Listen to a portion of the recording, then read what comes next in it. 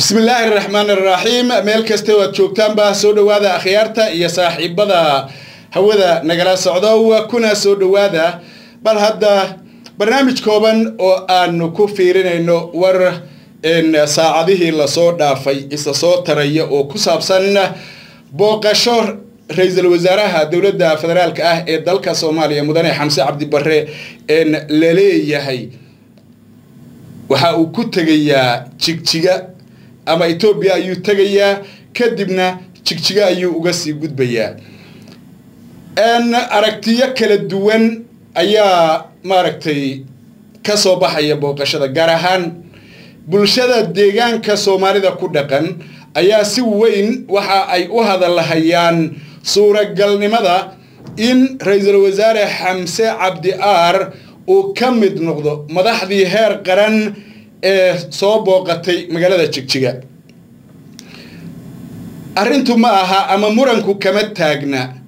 Xamse cabdi barre ra'iisul wasaaraha soomaaliya jigjiga waa booqan karaa iyo ma booqan karo.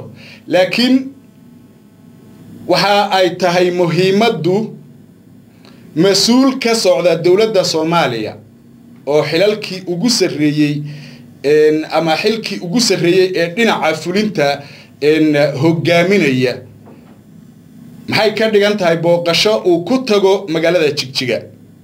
Dad badan ayaa waxa ay ku doodayaan in ay wax caadiya tahay marka dhinac laga fiiriyo.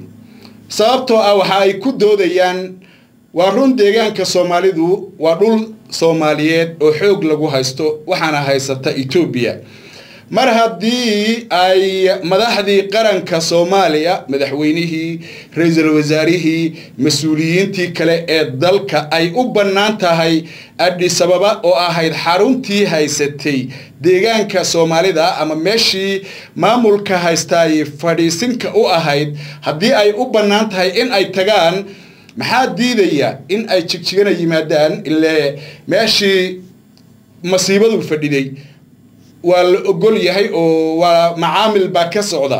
Marka jigjiga maxaa diidaya? Ayaa dad badan ay ku doodayaan. Waxayna aaminsan yihiin mar haddii madaxdii qaranka soomaaliya ay u bannaan tahay meesha la yidhaahdo adhis ababa in aysan jirin wax diidaya.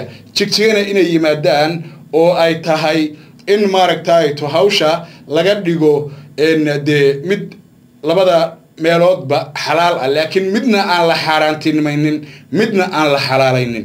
Waa aragti aragtidaasi waxaa kale oo ay maaragtayto ku sii xoojinayaan doodooda oo ay ku sii adkaynayaan booqashadii hadda ka hor madaxweyne xasan sheekh maxamuud uu ku yimid magaalada jigjiga. Guddoomiyihii hore ee baarlamaanka maxamed cusmaan jawaari booqashadii uu ku tegey guddoomiyihii ka dambeeyey ee baarlamaanka mudane mursal mursal sheekh cabdiraxmaan inuu ahaa baan jeclahay isna uu ku tegey meesha la yidhaahdo jigjiga. Ayay doodooda ku xoojinayaan oo ay leeyihiin dee kuwaasiba mas'uuliyiin qaran bay ahaayeen. Xilalkii dalka ugu sarreeyey labadii hay'adood ee dalka ugu sarreysay baa madaxdoodii soo booqatay.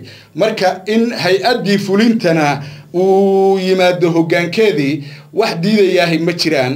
Waa dooda dhinacaas iyo maaragtay daliilaha ay ku xoojinayaan.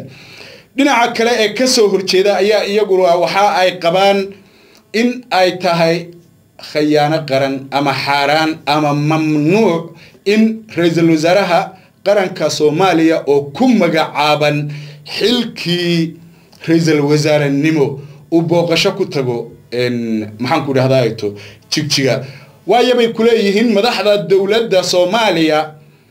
Waxay la macaamilayaan marka ay adhisababa tagayaan madax heer federaal ah oo dana laba dowladood ayaa laga hadlayaa. Deegaanka soomaalida ee etoobiya ay gumaysatana waa dhul gacan cadow ku jira si sharci daraana ugu jira xoogna lagu haysto. Xilligeeda iyo fursadeeda iyo waktigeeda ayayna maaragtayto imaanaysaa ka wadahadalka iyo wax iska dhihidda labada dowladood. Laakiin haatan marka laga hadlayo arrimaha labada dal deegaanka soomaalidu juqraafi ahaan waxa uu dhacaa yacni maaragtayto oo uu qeyb ka yahay waxa la yidhaahdo etoobiya dad ahaanna waa iyo dal ahaanna waa dal iyo dad soomaaliyeed oo aan muran ku jirin. Oo yacni maaragtayto aanay jirin cid inkirsan macaa etoobiya okay labadaa doodood iyada oo marka la fiirinayo daciifnimada dowladda soomaaliya iyo fursadaha ay ka faa'iidaysanayso etoobiya iyo waxyaabaha maaragtayto ra'yul caamka dhinaca kale u bedeli kara oo dhan ayaa waxay ku doodayaan in ay tahay in laga feejignaado oo aan si sibiq ah hawli u gelin. Sababtoo ah dalka soomaaliya sharci buu leeyahay. Sharcigaasi jamhuuriyaddii soomaaliya ee midowday lixdankii bishii kowdii bishii luulyo ayaa waxaa ay xariiqday shacabka soomaaliyeedna uu ansixiyey. Dastuur shantii soomaaliyeed ay tahay sida lagu keeni karo xoog xeelad iyo xisaabba in maaragtayto la raadiyo oo dhulka soomaaliyeed ee markaasi gacanta gumaysiga ku jiray ee jabuuti ay ka mid ahayd ee n f d ay ka mid ahayd ee maxaanku idhahdayto deegaanka soomaalida uu ka mid ahaa lagu raadiyo sifo kaste oo lagu raadin karo. Waxaa ku baxay naf iyo maal aad u fara badan. Sababta la yidhahdo dowladdii soomaaliya way u burburtayna qeyb ayaa ay ka tahay baa la yidhaahdaa dagaalkii dhex maray soomaaliya iyo etoobiya iyaga oo markaasi labada dhinac dhan waliba uu doonayey inuu maxaanku idhaahdaato isagu dhinaca kale ugu awood sheegto deegaanka soomaalida. Markii laga adkaaday cadowgii etoobiya iyo ciidamadeediina dee wixii dhacay baa dhacay oo weynu ogeyn oo waa loo soo gurmaday. Arrintiina waxay noqotay dal dal ku duulay baa laga dhigay oo waa maaragtay taxadad kalaa loo rogay oo soomaaliya ku duushay baa layidhi etoobiya waayo innaga juqraafi ahaan deegaanka soomaalida ahaan yacni waxaan inagu isu naqaano iyo waxa caalamku inoo yaqaano waa kala labo.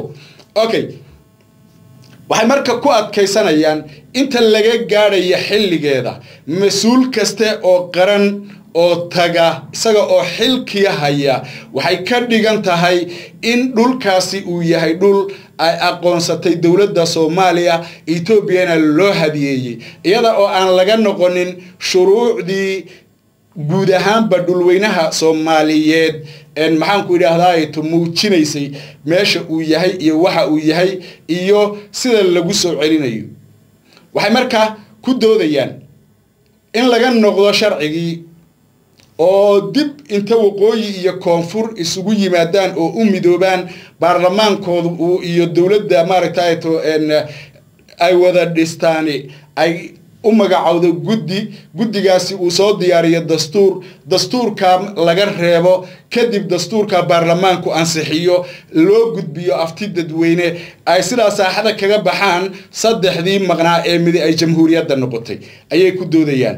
Wixii marka intaa ka sokeeya maadaama dastuurkii lixdankii aanu jirin dastuur bedelay oo meesha ka saaraya waxa ay ku dhegan yihiin waa in la ixtiraamaa qodobada dastuurka iyada oo dhinacyo badan la fiirinayo. Tabarteennana aan laga tegaynin. Ma aha marka in etoobiya xilligan lagula dhegayo ama lagula qabsanayo.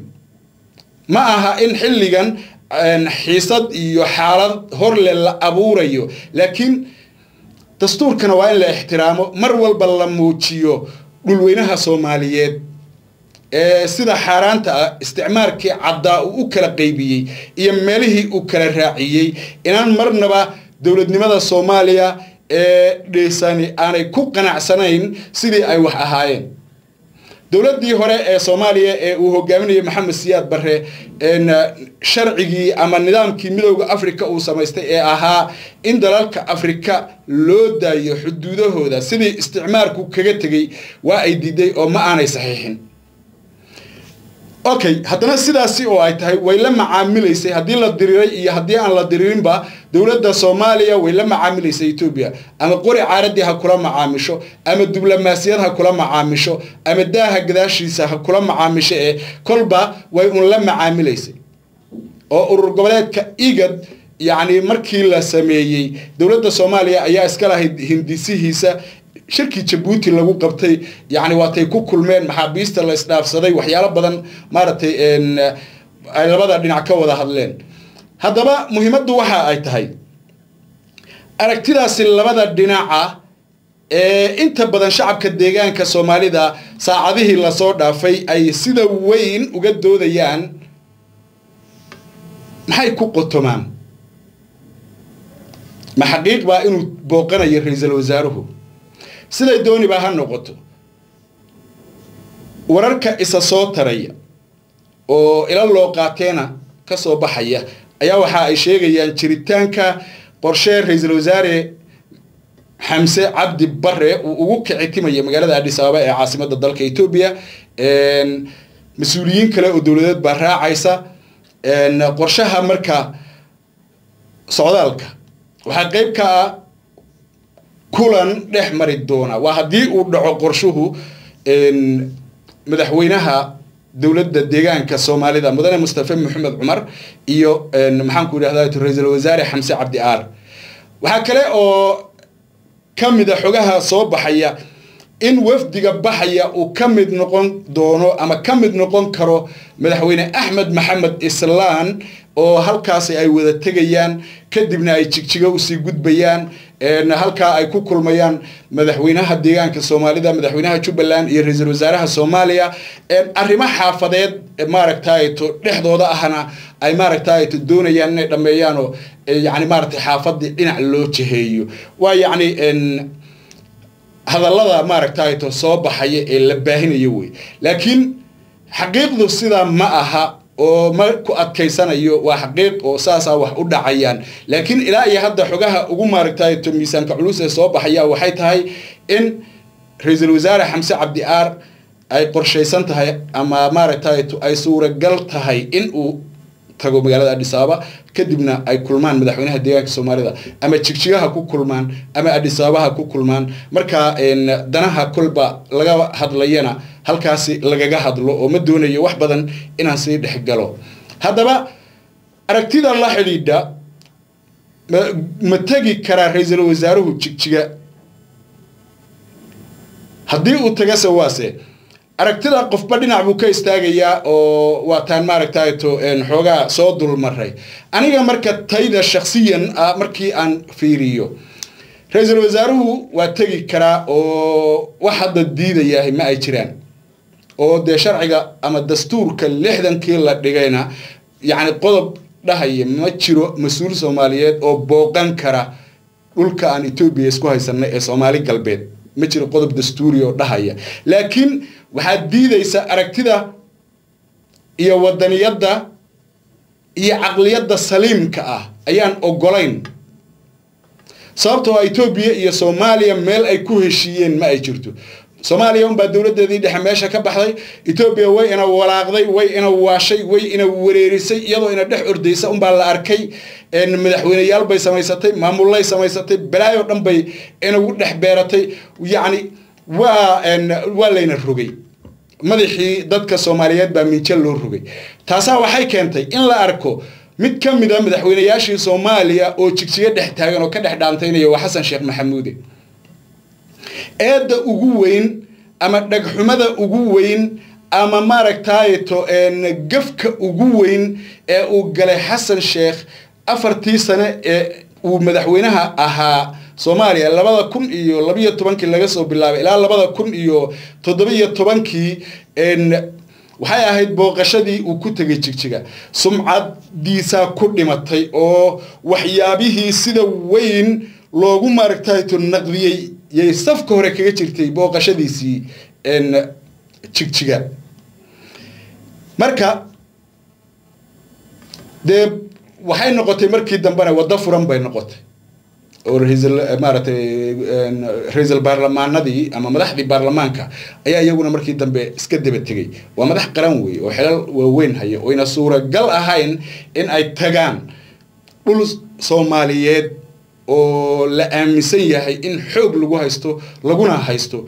Inkasta oo dee guddoomiye jawaari isagu wax kale uu aaminsan yahay oo uu aaminsan yahay deegaanka soomaalidu inaanu maaragtayto iyo dadkiisuba inaanay maaragtayto soomaaliya ka mid noqon karin oo ay maaragtayto ka madax bannaan yihiin oo yihiin dad etoobiyaan ah oo marar kala duwanna ku celiyey oo uu isagu maaragtay aragtida iyo dooda noocaasa qaba. Isagu dadka sharciyan markii laga hadlahaya arrimaha dastuurka ugu fara dhuudhuubanna uu ku jiro. Haddana maaragtay waa uu booqday isaga aragtidiisa ku salaynaya booqashadiisa. Waxaa ka daba dambeeyey marka oo ka daba maray guddoomiye mursal oo isna dariiqii raacay.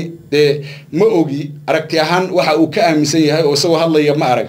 Laakiin jawaari ma aanu qarsanin marka muhiimaddu waxa ay tahay waxaan u arkaa qodobkaasi inuu yahay gaf iyo meel ka dhac iyo mid aan maaragtayto xilligan loo baahnayn. Dhankay dooniba ha ahaatee aan loo baahnayn.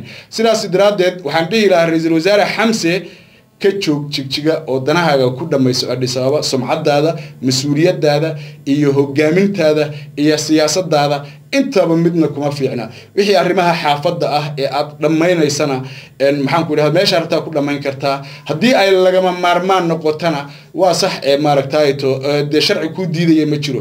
Laakiin mas'uuliyad ahaan iyo madax ahaan ayaanay maaragtayto ku habboonayn. Marka waxaan ku dhihi lahaa habooqan ha booqan ha xalaalaynin maaragtayto sideeda ha iska ahaato halkeeda ha joogto dhex istaagaagu wax badan ayuu maaragtayto keenayaa waxaan leeyahay marka aragtidaydu waa middaas oo waxaan raacsanahay dad kale yaanu booqanin xilligan oo duruufaha iyo danaha kala duwan ee siyaasadeed. Yaan laydinka faa'iidaysanin sumcaddiinna iyo mas'uuliyaddiinnana ilaashada qof walibana waxa uu ku wanaagsan yahay in uu ka fekero mustaqbalka iyo taariikhda waxa soo kordhaya iyo waxa magaciisa uu maaragtayto ku suntanaanayo. Marka aad xil qabato magacaaga ayaa lagaa rabaa inaad wanaag u samayso oo aad taariikh wanaagsan aad ku maaragtayto shaabadayso oo aad ku sumado intaasaan jeclahay inaan ku soo koobo tan iyo inta aan isugu imaanayno barnaamijyada xiga. Waa gallad xasan oo idin leh fii amaan illah